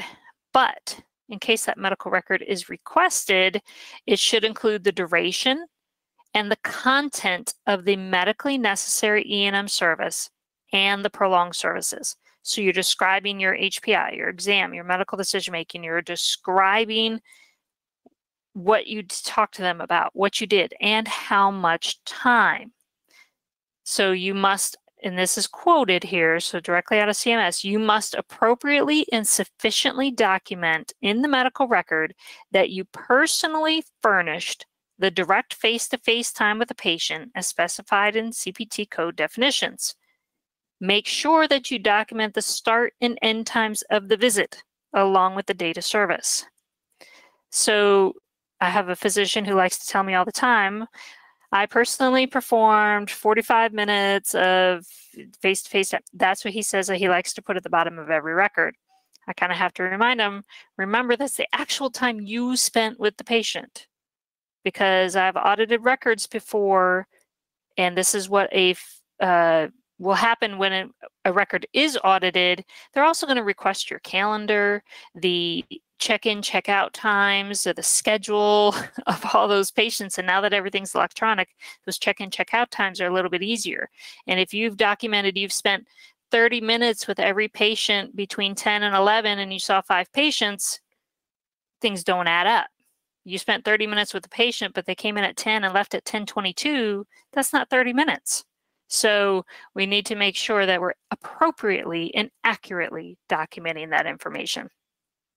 With office services, CMS has a threshold table. This is only a portion of this threshold table. There's, there, are, there are more codes. Um, but they also give us a couple examples. So I wanted to bring up two of these examples so you could see what we're talking about here. And you could kind of picture it in your head and see if it would be prolonged service. So a physician performed an office visit to an established patient that was predominantly counseling, spending 75 minutes of direct face-to-face -face with the patient. So he bills a 215 and one unit of 99354. Okay, because 215 says 40 minutes of time. He spent 75. Okay, and you can see our threshold there for a 215 is 70, and he went over that. So he can bill that because the threshold was 70, he billed 75, he bills a 215 and one unit of 99354. There's another example. This is what we can't bill. A physician provided a subsequent office visit that was predominantly counseling, spending 60 minutes face to face with the patient. Well, we said our threshold was 70. So he can't bill that. And you think, well, what about a lower service and a prolonged services code? So you can't bill a 214, which has a typical time of 25 minutes, and then a unit of 99354. The physician must bill the highest level code in that code family, which is a 215 with 40 minutes, leaving 20 minutes beyond the code, which does not meet that time threshold. So, um, you know, we think, well, I'll lower code it and then we use a prolong. No, you can't do that. You have to build that highest level in that family of code. For the hospital services, we have 992, you know, we have all of our families and they have a prolonged service time uh, frame as well. So there's a lot of different codes that you probably recognize on there, knowing your, um, you know, hospital codes. And they all give that threshold of time. Well, if we go back and look at what did this question ask again? I had a discharge summary. The phys physician spent an hour and a half and the family, you know, answering those questions. Can I do a discharge code and a prolonged services code? A hospital discharge code is 99238 or 99239, 30 minutes or less or more than 30 minutes. Those are the two options. Hospital discharge is not one of those family of codes that CMS or CPT says can be included, you know, for prolonged services. It's not listed on that table for inpatient settings. CPT also describes it as the hospital discharge day management codes are to be used to report the total duration of time, total time, spent by the physician for the final hospital discharge of the patient. Doesn't matter what they talked about. They didn't ask, you know, well, he spent time, but then did additional time talking about other, you know, answering their questions. So CPT says we're going to use 99238 or 99239. That's it when you're dealing with a hospital discharge. And even the parentheticals that we should remember to keep looking at, especially on a CPC exam, that 99356 prolonged inpatient service, the parenthetical says you use this in conjunction with, again, these family of codes, and that hospital discharge is not there. Also, prolonged services codes are not allowed to be used with telehealth services. Thought I'd throw that out there in case there's, you know, COVID things happening and you see these codes right now for prolonged services with a telehealth. It's not allowed. Um, so this came directly from, you know, CMS, uh, uh, my go-to person. So for questions, um, so there are codes that can be billed prolonged services in a hospital. So the first part of the question, yes, there are codes and they there's that timetable threshold there. But then if it was specifically a discharge code with a prolonged service, no, we can't do that. So very good. All right. Are you a member of the CCO club? Let's find out real quick. Probably our last poll. Your choices are, nope, I launched the wrong one. Hold on, let me run through it. This one already did it. Okay. I, I was gonna say, those numbers look the same. are you a member of the CCO club? There we go. The questions, very easy. Yes, no, I decided not to join at this point, or no, I didn't know about it. Is it important? Yes, it is. you guys are not asleep. Man, you should see those numbers going up. We're already at 50%. Now we're at 60%. So we'll get to 70, which we're going to hit it in just a minute. Five, four, three, two, one, bam. Oh my, 42% wow, said even. yes. No, not at this point. And 16, should I? Yes, yes. It's an awesome um, thing to be a part of because, as I mentioned before, all of these answer sheets, if you're part of the club, you get access to those. Otherwise, when the webinar's over, you're done. You may be able to see something on YouTube, but you won't be able to see those. So the CCO Club is awesome. It's real easy to find. It's cco.us forward slash club. Did you get value from tonight's Q&A webinar? I guess we are going to have time to do that. And then we're going to draw from for our winner. I think they're getting ready to do that in the back already. Yep, we got it already. All right. So launching, your choices are yes, no, please leave a comment in the question. And hmm, not sure, please leave a comment. So, huh. oh my, it was like bam, 60 like that. Everybody's saying yes. So we're already at 70%. So thank you very much, guys. We appreciate that. We we work hard to to get these out to you and we have fun doing it. I learn something every mm-hmm. time every time. That's because I always learn something. I, I, was uh, I was watching. In fact, one well, time I scrolled down ahead. She's like, "Don't go down that far." Oh, okay. well, I'm I'm uh, gonna give you a little tidbit here. Alicia loves PCS. You know, she talks about it all the time, right? I'm learning PCS by teaching it, and I was like, "Wow, this isn't so bad after all." Yeah, it's pretty cool, isn't it? Pretty easy. so much better than CPT. And you guys, since we got your approval, we would love for you to take a survey for us and let us know how we're doing. Uh, that's real easy. Just find it at cco.pe forward slash QA202009. Were you 20 in 2009? No, no 2020. September. oh, I wondered where he come up with those. Now I feel really stupid. Duh. That's what my kids say. Duh. I get on to them if they do that. Um, so our winner, Boyd, who won? They get a, vi- a Blitz video package, one year of the CCO Club Basic, or an hour session with me, or maybe somebody You else. No, I could. I have a sound effect that I could probably load. I'm going to do that next time. Um, Mm. Anyway, um, so Le- Le- Lenora Gorman is our winner tonight. Lenora Gorman. Lenora, golf clap. Woo! Good for you, Lenora.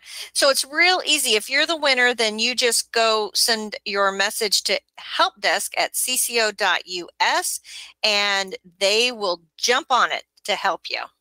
They're they've got your name and they will um, absolutely well they'll find out which one of those things that you picked. Uh, real quick, we're getting ready to do the behind the scenes kind of the questions that came up in the chat. And this is the official end of the webinar. Uh, however, if you want to stick around, that's fine. Please feel free to do so. This is called Stump the Stump, Stump the coder. oh, just a second. I got that. I saw questions pop up and I didn't see which ones they put in here, so we'll. I didn't look up any it. of them ahead of time, so we'll see. usually Jennifer does, but she's usually not the last she's usually not the last speaker, right? I did. Oh, okay. I learned something. Okay, that makes sense. What's that? How she does do? that. She she she oh, how how smart I am? Yes, because Yeah. I'm. Yeah, usually No, it's no, it's more like having out my books while you guys are talking. no, you're helpful. You're- so we're not sitting there with dead air. Put it that way. Thanks, Sylvia. Thanks, Lori, for putting these together. This is the first question. Doctors upset for getting downcoded. Any suggestions for dealing with doctors who hang up on you and get upset when you try to explain to them why you downcode their charges? Anyway, to educate them, I had one today where I downcoded who got $150 left. She hung up on me and said I was wasting her time. Why do they get upset if they won't listen to your explanation? Well, I do provider education.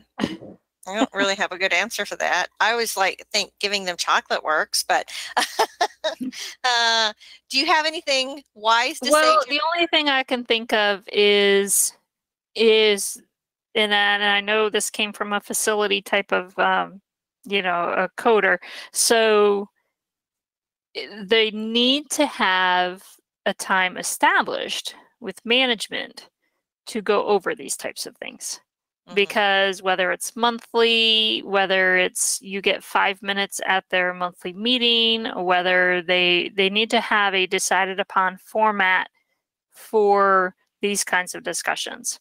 And um, you know, I understand in a facility everybody's busy, they're not there at the same time, so they're all working different hours, things Mhm. like that. So there needs to be some kind of uh, implement some kind of, and it goes along for your compliance as well because that's very important that you have these rules set up as to what they can bill and, and that they need to be aware of what has been coded incorrectly as well. So whether they get a monthly report and then they can have a couple minutes to ask you questions about it maybe might be a little bit easier way and I, always find that fascinating that people say my doctors were upset because they didn't get enough money and i'm like doctors are should be there caring for the patient and not looking into every code that you submitted and comparing it to what they told you to submit. I, I'm always fascinated when people say that. I'm like, how do they know what I did and how do they know what you get paid and how do you know? I'm Yeah. just kind of, how do they know I changed it? Because they, yeah, I'm coding properly is what I'm doing. yeah. I I found that um, facilities and groups that have, like Jennifer said, good education, where they meet on a regular basis, that usually usurps a lot of these problems. However, um, I've also found that the providers that are feeling this, there's something else going on, right? There's something else behind the scenes. So they aren't necessarily upset with you per se and the $150 less, which that, you know, that may be, you don't know that they didn't get a speeding ticket on the way to work or their spouse just spent, you know, um, five thousand dollars on a new pool, or uh, you know, I mean, you, you don't know the behind the scenes, and um, Pools don't cost so- five thousand dollars. Just FYI, do you they knew not? that. I was like, I don't No, know, I don't have lot a pool. you know, really hot tub, maybe hot tub. You could, I don't know. Um, a golfing trip, you know.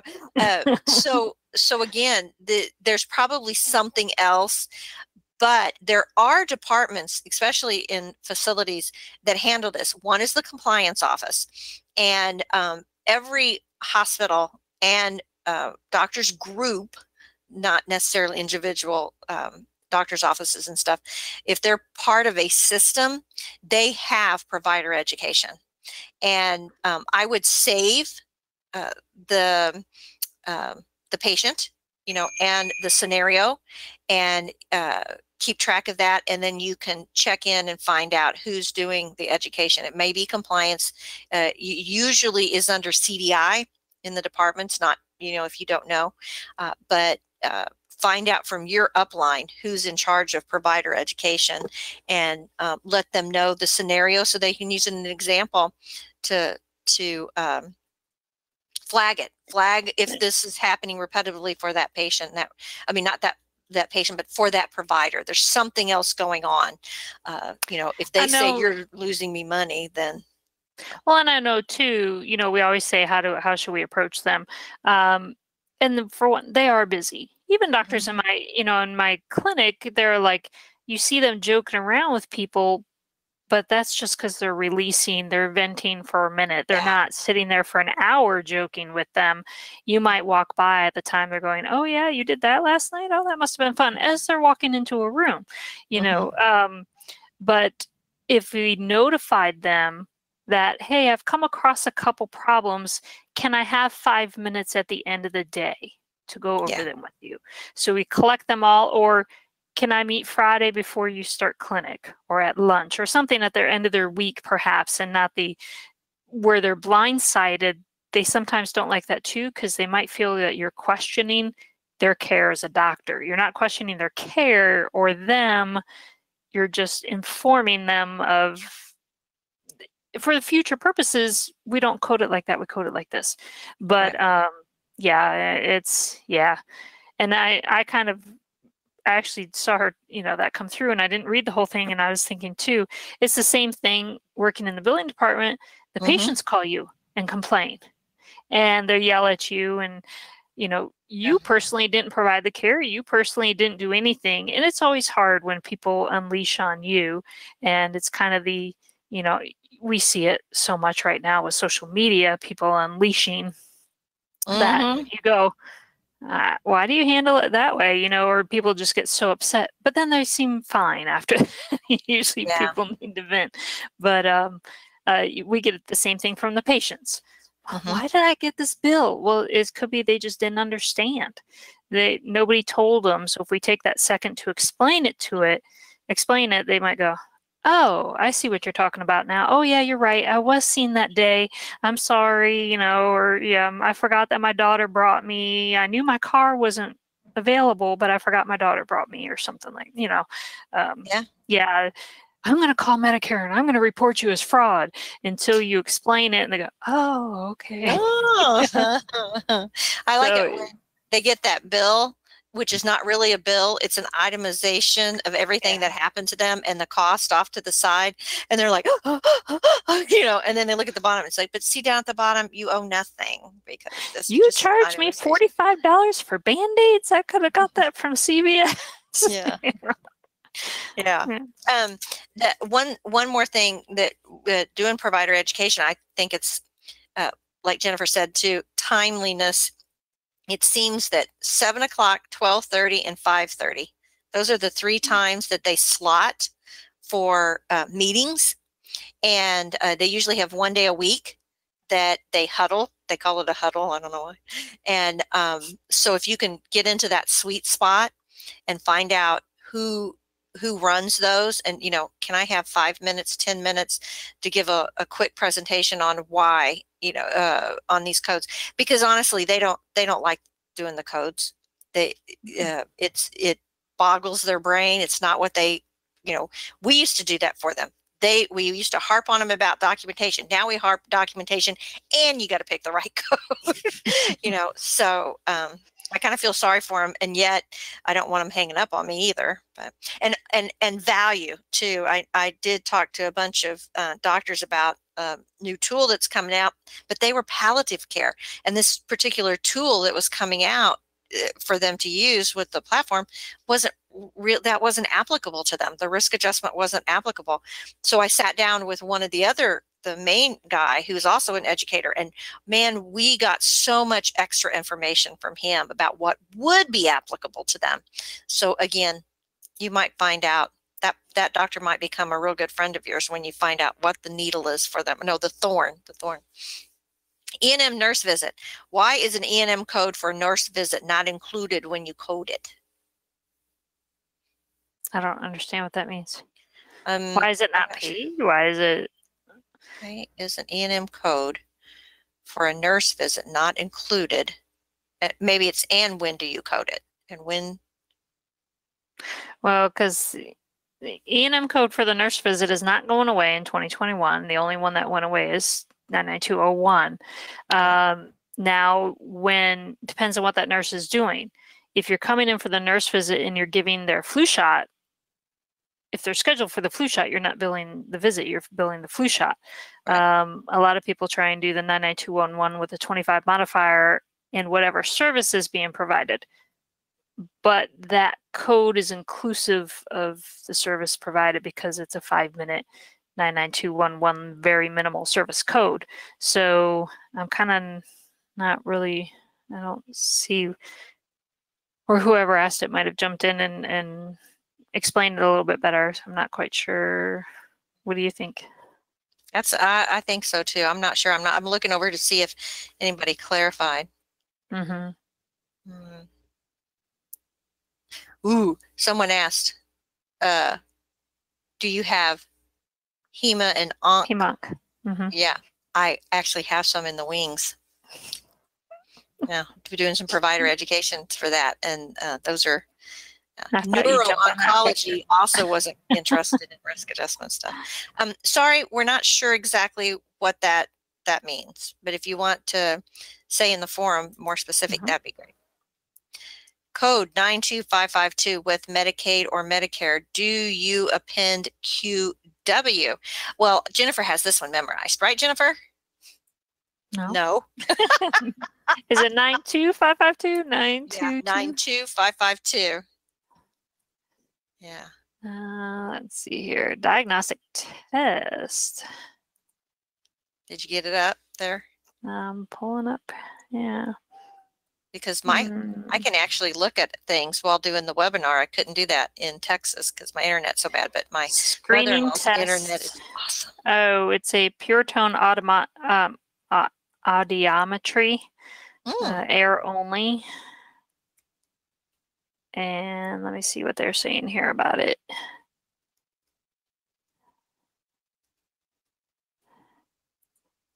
Uh, if you Well, want to try and answer that another up. one. Maggie, uh, uh, you can, the oncologist specialty with chemotherapy, we actually did a webinar not too long ago on uh, uh, chemotherapy medications. And you can find that in the club, and there might be some of it out there on YouTube. But I think it's um, Kathleen that's been attending a lot of our webinars. She knows chemo drugs really well. She did cancer. It's so funny you said that, and her name popped in my head as you were saying Did it. you just like, yeah, she's on top.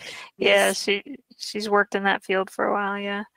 So she's been giving us information, and then we've been able to do some research and kind of highlight some of that. So uh, hopefully, we'll have some more for you if we know that that's what you're looking for. What did you find out? Well, the QW? QW modifier is for clinical lab. It's a CLIA waived test. Oh, And I'm not sure why a CLIA waived test would be with an audiometry.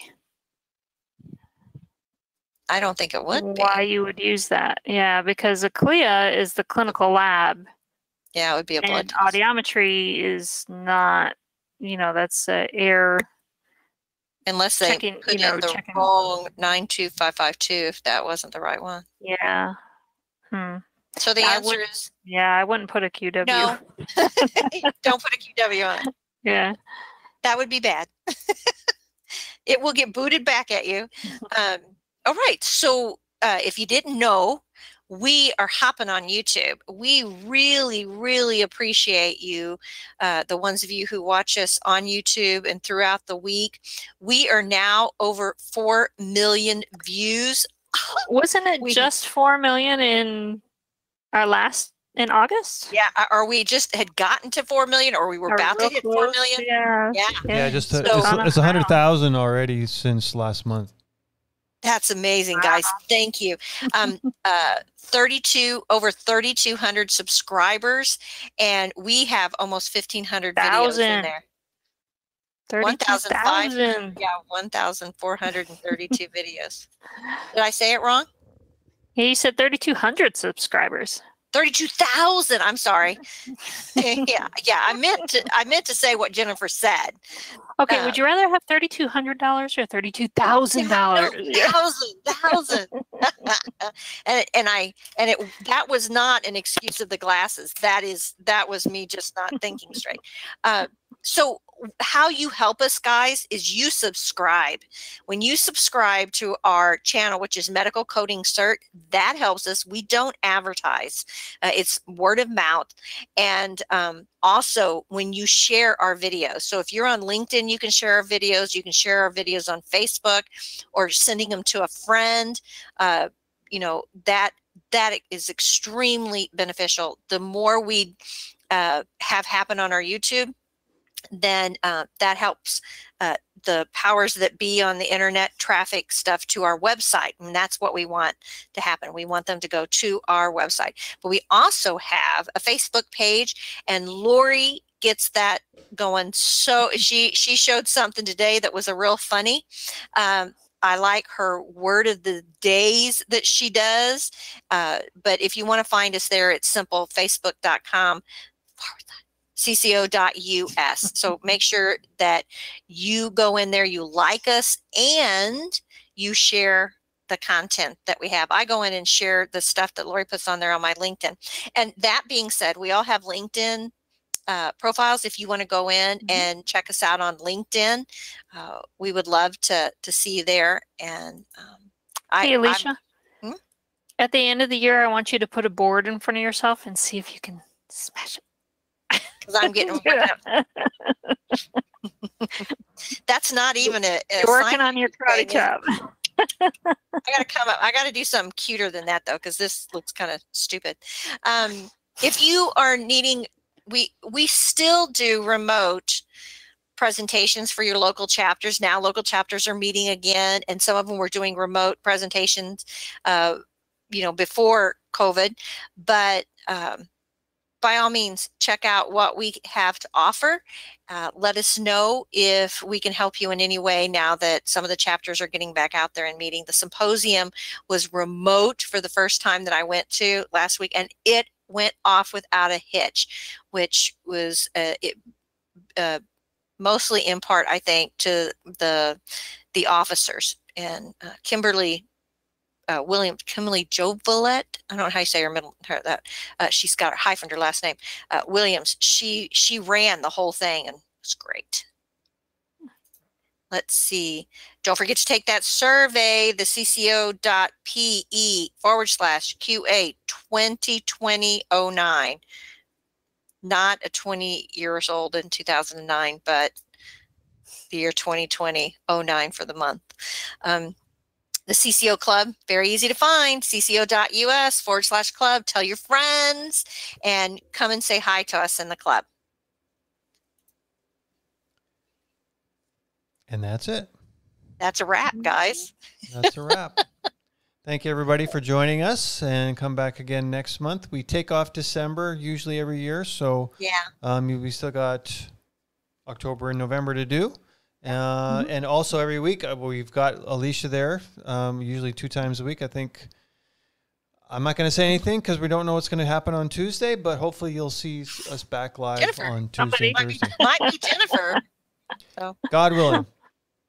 Yeah, I'm going back from uh, Missouri to Texas. So have just just in the event. And thank you for all the compliments on my hair. Uh, my in Missouri, my husband's cousins up here. Whenever I get to Missouri, uh, she does amazing things to my hair, and she integrated my gray and gave me grayish blonde highlights. It's pretty silver looking in the in real life.